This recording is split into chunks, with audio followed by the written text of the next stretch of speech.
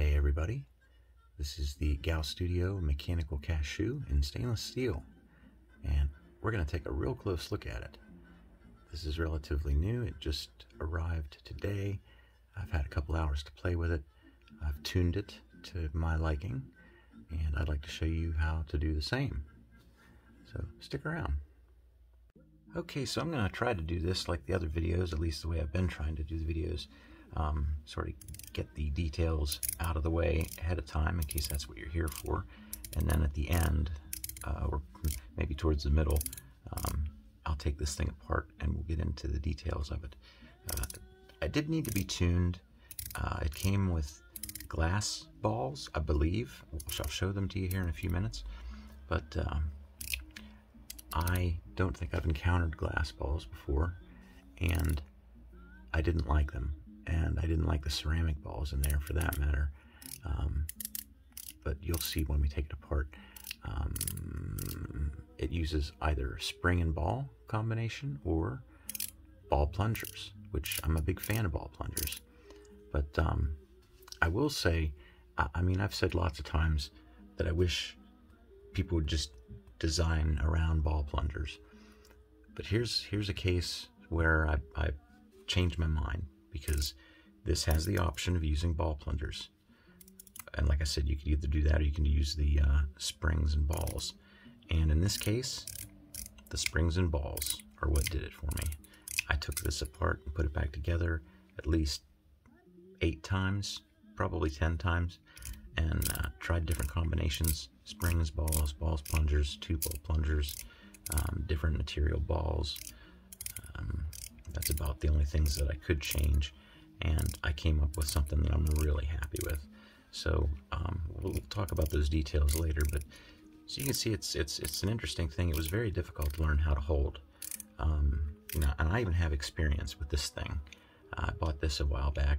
I was underwhelmed by it, but then most of us are in agreement that it's probably a good fidget if you're like at a meeting or under your desk. You want to make no noise or little noise. There's just not much haptic feedback to it.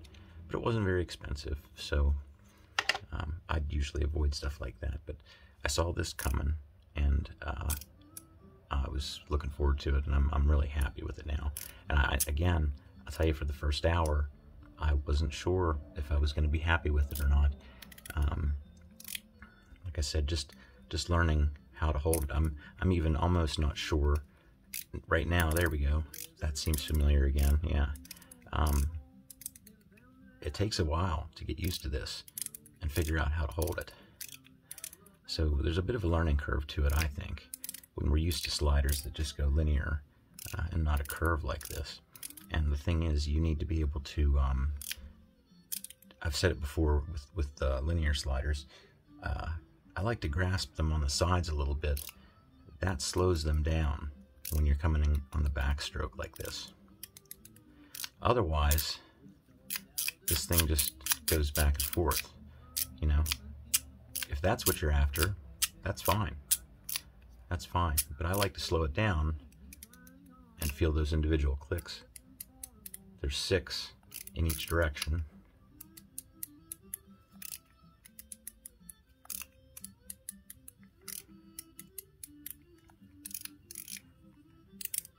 And to do that, you know, to be able to feel those clicks, you have to squeeze it a little bit to slow down the travel of this thing when you're pushing it back. And that, I guess, is what, what took me a while to get used to. That and figuring out what the best combination of balls and springs were for me. Um, so, yeah, let me think about this for a second. I'm going to be doing a comparison at the uh, at the end of the introduction part of this video here um, with a bunch of different stuff here I have with me. But uh, just to demonstrate what I'm talking about, I think uh, one that would be clearly good at demonstrating that would be this mechanical from uh, 01EDC. Uh, if you try to push this down without squeezing it a little bit from the sides, you're not going to get every individual click. It just it just won't work for you. So it, just a little bit of a squeeze, a little bit of control. That's how these haptics, these mechanical haptics seem to perform best. So I consider this to be the bottom. That's the part where the, uh, I don't know if that's black Teflon or if it's just black plastic, but uh, so far it's not binding up or causing any issues. Um, I am pleased that it at least has, uh, I think these are Torx. They kind of look like Allen head screws, but uh, let me make sure it's focused. Uh, the picture showed uh, Phillips head screws, which are always kind of like a red flag for me, but, you know, take whatever we can get, I guess. Um, I'm happy about that, and uh, did I say it came with glass balls? I believe I did. Uh, and that's the other downfall of this is it didn't have any spare parts whatsoever, and it really should. There's a couple screws here that could go missing. There's um, two springs and four balls, and that's it. Uh, they, they, didn't give you. Oh, they also gave you the option of uh, two ball plungers. So you're either using you're either using the springs and balls or the ball plunger by itself or two ball plungers.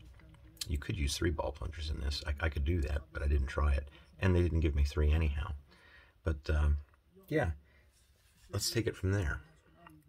So this is uh, very familiar in design to the One Pal. It's got the same same sort of setup, uh, and I I really like that. Um,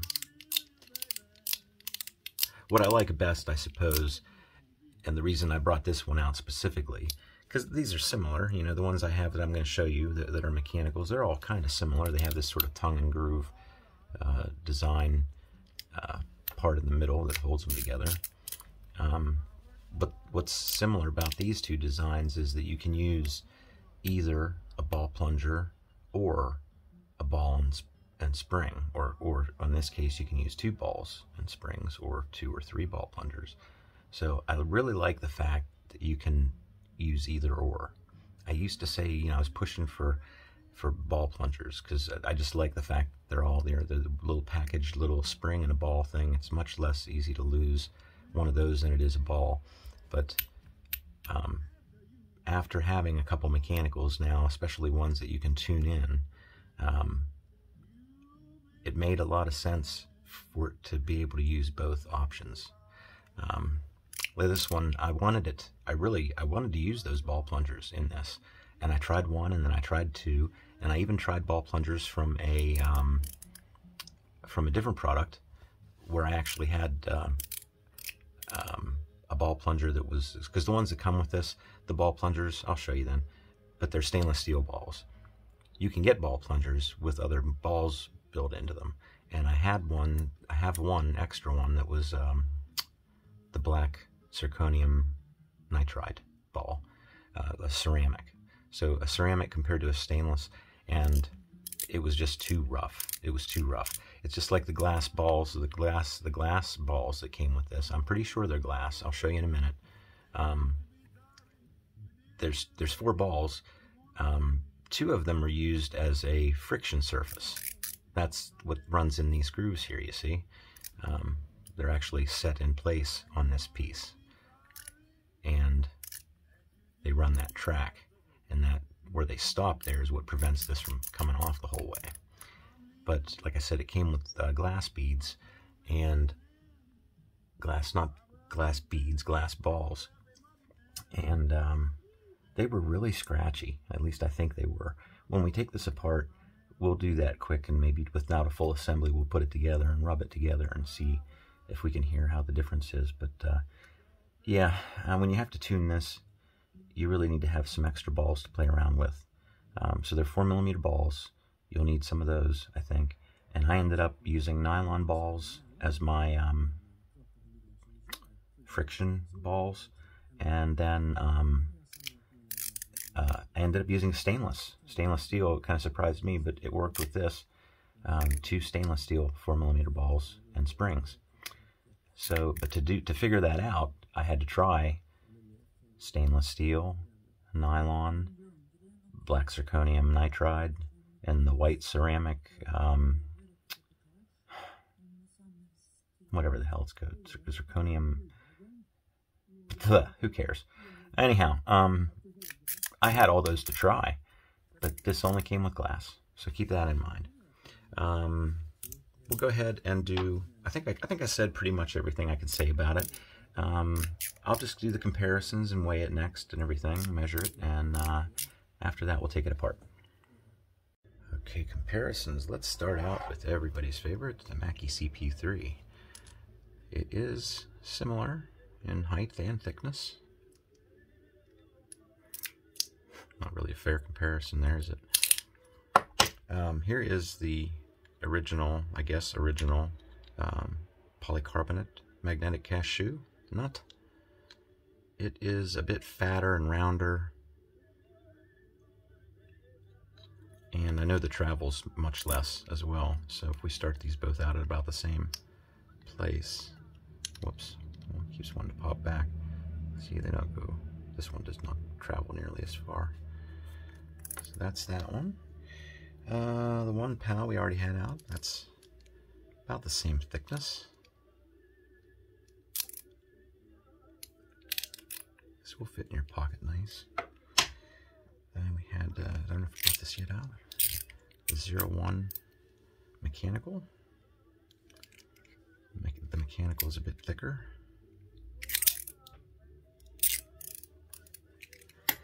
And I thought this would be a good comparison to another GAO Studio product, the um, Mini SP or the SP Mini.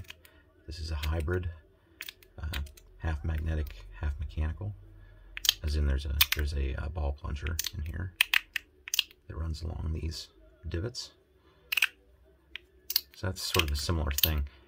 Um, holding it, squeezing it, because otherwise it wants to almost pop all the way back. Uh, and this is something, this is something we're all used to anyhow. I mean, most magnetic sliders, you can push them together slowly like that. I think most of us hold them in our hand anyhow to sort of get that cup sound. It just sort of, you, you'll just sort of naturally end up doing that. So holding a mechanical and sort of stabilizing a mechanical isn't that much different than, uh, see, I'm still fiddling over which way to hold it. This is what I like. This is what I like because it feels like these fingers do a good job of acting as a brake on this back surface. I can sort of regulate that fairly well. But, uh, yep, that's it. I think that's all the comparisons. Let's do some measuring here. This is, try to get it as even as possible, 48 millimeters. Um, if it was sitting on your desk, it would stand about 25, 26 millimeters high.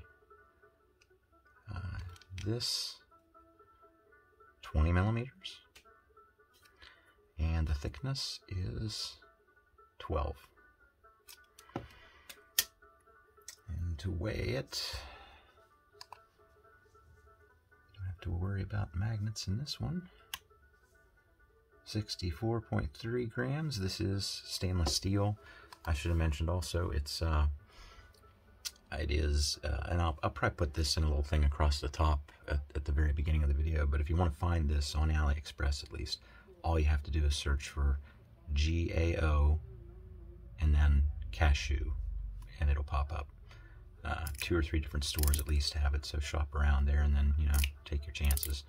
I'm not going to say exactly where I got it, but it, I've seen it available in, um, this is they're calling this stone washed stainless and um, they have polished and then they have polished zirconium and then they have a picture of what they say is titanium but it's the exact same picture and it looks exactly like this uh, stone washed so it's probably similar I would imagine being titanium it might be a little bit darker in color but they used the same photo there so that is a problem I think that is it. Uh, from this point forward, we're going to take it apart and I'll give you some tips on how to tune it. And uh, this is where all the fun stuff happens. So I'm really happy with this thing, and I wanted to show you a picture of something that they came out with a long time ago. Well, not a long time ago, but it was one of their earlier pieces. Um, I think I think GAO Studio might be the not if not the only, then one of the few designers that does stuff uh, on a curve like this. So it was called, I think it was called the Gamepad. Let me show you a picture of it right now. So I think that was probably a lot like their mini SPA, or it was just the SPA, and they might not be called the mini. Um, and this was something else at the time, but you know, it's four balls, four tracks. One of the balls is stuck there. But uh, I think it was the same idea, just on a curve, and it had two little buttons on it. The buttons were different. Um, it looked like a little gamepad. Uh, I kind of wish I'd have gotten one of those, just if nothing else, just as a reference to, to see what it was like and just to experience it and compare it. But they did that, and then they also did this. And like I said, I, I can't think off the top of my head of other designers that have done stuff on a curve. Let's say specifically uh, ball track sliders that are on a curve. Um, but they have some experience with it, and they seem to know what they're doing. Like I said, that's that was pretty good. Um, they got this one figured out pretty good too. So that's it for uh, the history lesson, I guess. Let's take her apart. Okay, you're going to need a T6. It came with an Allen, an Allen, an Allen head, uh, an Allen wrench, and it's difficult for me to see, but it works. What did I just say? T6 fits in there nicely, so we'll do that. Uh, all you need to do, this one's not going to fly apart on you, so you really don't have to worry about anything. Take that screw out and slide it to the other side. You do want to keep a grip on it, holding it together like this. Okay, got the two screws out of the way. And now we can just, whatever position it's in, just, just lift it right off. And do mind that things are going to come out, but they're not going to come flying out. Let's just dump everything out of here. I'll show you the internal construction make sure I have this in focus for you. So this little gap in here is just a space for it to grab a hold of this and keep it held when it's screwed down. So without the balls in there, you see it wants to go all the way. Then you have your, I don't know if this is Teflon or not it feels fairly rigid. I would almost say based on its rigidity that it's not Teflon.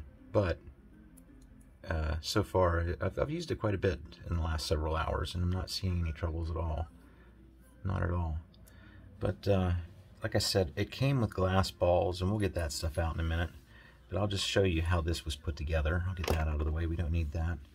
Um, if if if it, when it comes, it's it comes with at least mine came with the spring and the balls put in it. So say you've taken it apart and you want to put it back together again. Well, the first thing's pretty obvious. That, that slides in there. There's only one way that that can happen. So you can put that together. Then you take your balls and you're going to drop one in here and one in here. It's, it's an unfortunate thing. I've already brought up the fact, I'm going to put one over here, that they did not give you any extra parts because if I had one more spring I could have tried three balls in this, which which I still I will down the road someday, but I want to find springs that are the same. And oh, they only gave you two. That's it. Um, I'll get off that now. But uh, you drop the two down in there. Now these two little divots here are your uh, are your friction plates. You know what I did? Um, I told you the wrong thing. You could put the nylon balls in there, but the nylon balls, this is these are the balls that are going to run against the divots. And um, when I tried the nylon balls, it was very soft. So if you're looking for a soft response, that's what that's where they should go. We want to put the stainless steel balls down in there. Okay, drop them down in. Then you put the spring on top. And it doesn't matter which way the springs go in. They're not they're not conical, they're cylindrical. Then um, let's see where did the steel balls? The steel balls are in there. Um, now you take the, I, I took nylon balls, again. This came with glass balls. I'll show you in a second. Um, I don't like them. I put nylon balls out here. Those are the friction balls. and then stainless steel balls down in here, and those are the um, divot balls, we'll call them. So once everything is in place, you can uh, put this back on top. I had to think about it for a second. I've done this a few times, but I'd rather go slow and not mess anything up.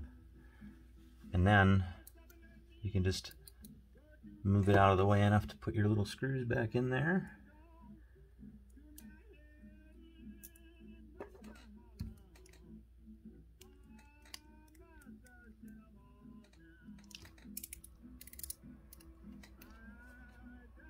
So you know what, I won't bother putting that back in.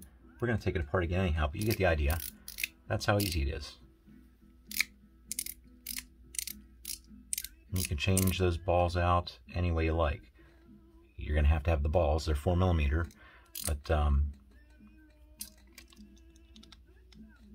the, the glass balls that it comes with, to me, they were just much, much too scratchy. So, let's go ahead. Let me get my act together here. and we will move to the next little segment.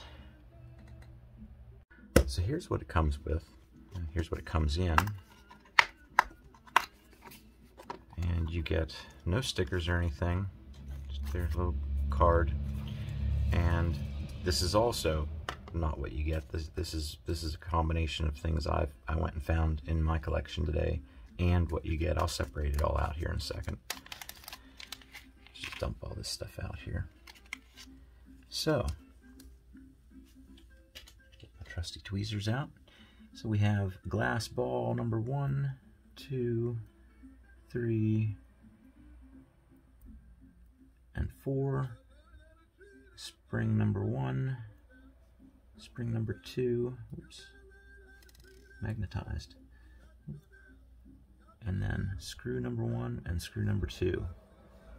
Then you also get two ball plungers. The rest of this stuff is my stuff and should be out of the frame as much as I can get it out of the frame. So, this is what you get, no extra pieces. And like I said, glass balls. I have not ever seen, let me put a few, let me put a few in my hand and get them close to the mirror, to the uh, lens for you here. Try to focus it in. Hopefully you'll get an idea. They, um, they look transparent. And I went out, I have a, a glass plate on my coffee table that's about a quarter of an inch thick. And uh, it's a good surface to like bounce something like this off of to see to hear how it sounds and see how high it bounces. And I'm pretty sure that they're not plastic. Um, I'm pretty sure these are my first glass balls, and I don't like them. I really don't like them. Sometimes the white uh, White zirconium oxide balls can be scratchy. Sometimes they're perfect. Sometimes the black silicone nitride balls, these are both ceramic, they can be perfect. Sometimes not. Um, nylon, nylon balls can be very, very soft. It can make something that's loud a little bit quieter. And uh, stainless steel, I usually wouldn't want to go there, but for some reason, whatever, stainless steel balls work well with how they have these divots machined on there. At least for me. Everybody's tastes um, could be different. But uh, what we'll do next is we'll install, I'll show you here, um, we're going to install one of these ball plungers. But I'll show you that you can put two in there if you want to. I got myself a little rearranged here, but uh, basically, if you want to put two in, you can slide this out. You don't have to slide it out the whole way. I'll show you maybe up close. I'll take it out better. Better show you. You can see, once I focus, that there's three holes in the middle and they have a little bit of a countersink in them. And that's meant to accept these ball plungers. So you can put either two in or three in, but they don't give you three, or you could put one in the middle. And what I think works best for me is one in the middle. Two makes it surprisingly more difficult. Three would really, I think, make it really difficult. I, I have, this is sort of a standard size, and I think it's the same one that fits in the CP2, the CP5, and the One Pal. I think it would fit in all three of those. I didn't check, but I'm pretty sure it's the same size. Let's put this one in the middle, and we can go ahead and slide that back into here. Don't force anything. You can push that little ball down if you want to give it a little help getting through, and then it's in the divots, and then you're good to go there. Now, we need to put the two friction balls back in here. Now, this is something I would say you're probably best just going with nylon. It seems like the most logical decision. Everything else is going to be scratchy a little bit, I think. Um, so that's not something I would really try to fine tune. I, I didn't really try anything else, to tell you the truth. It came with glass balls, and I went straight to nylon. what to experiment with are either using a different combination of these ball plungers or the balls and springs. And of course, again, for that, you have to have your own balls because this only comes with four glass balls. So, once we're at this point, we need to put the friction balls back in their little pocket here. Okay. Now, we can just take this. We're not using this as the other ball plunger. We'll put that away. We're not using it. We can just take the this part, put it down on top of it, flip it back over, gently slide this out of the way until you have access to the screw, the screw hole.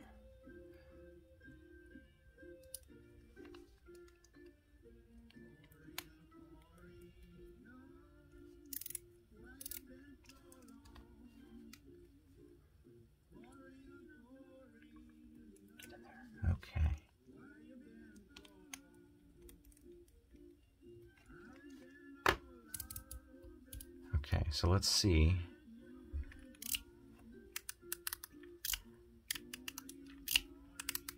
You know what? I could go back to that now, maybe. That is that is uh, similar to me to the way I had it set up with the springs and balls, except it's a little less. Um, when you're using the springs and balls, of course, there's two balls and, and two springs. In this case, you, the plunger is only one ball and one spring. So there's that difference. It's a shame I don't have two of these. I could set them both up in different ways and we could really tell what the differences were. And I'm not in the mood to try to video edit that sort of thing on my phone. But uh, I like that now. I might just keep it that way. But still, it is great to be able to, to to to experiment. So again, I think I'm not going to push for. I don't think everything should be made with ball plungers. What I think is everything should be made with the option, just like this is, just like the One Pal is, of of being able to either use springs and balls or ball plungers, and you can get those ball plungers in different um, materials. The ball can be different materials, same materials we talked about there with the uh, with the balls. So I think I think that is about it. Let me know if you have any questions in the comments. I'll get back to you as soon as I can. Thanks for watching. Bye.